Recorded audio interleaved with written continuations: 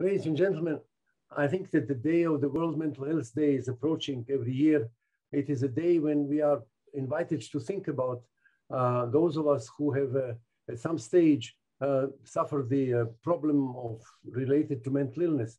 And one of the very important uh, uh, features of the World Mental Health Day is an effort to listen to people who had mental illness and to see what kind of needs they have and in what way we can be helpful to them. So I really wanted to praise the initiative which the uh, National Institute of Mental Health, uh, together with a group of amateur singers, have undertaken to try to see whether through combining music and words, uh, they can also contribute to the raising of awareness of the plight of the people who are mentally ill. And I do wish uh, that this uh, combination of poetry and music uh, and the noble idea together will reach uh, many people and help them to understand uh, the ways in which they can be helpful to mentally ill people and in ways I think in which by helping people who have mental illness, they also help to improving our society.